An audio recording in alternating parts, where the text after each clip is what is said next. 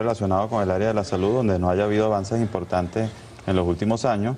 Y uno de ellos es el sector que tiene que ver con la educación y la formación de los médicos venezolanos bajo este sistema nuevo que se llama Medicina Integral Comunitaria,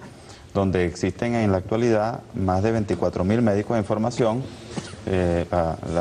las invitadas son parte de esta formación que ya está finalizando, porque hay ahorita 8.500 aproximadamente que están en el último año de medicina y que en este año, en diciembre, ya se gradúan como médicos integrales comunitarios. Este es un sistema totalmente novedoso,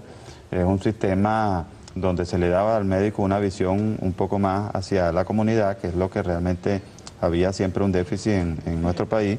Y por supuesto hay una gran cantidad de establecimientos de salud que se han venido generando en los últimos años y eso es un campo de trabajo para este grupo de médicos que se va a formar y que van a graduarse en los próximos meses.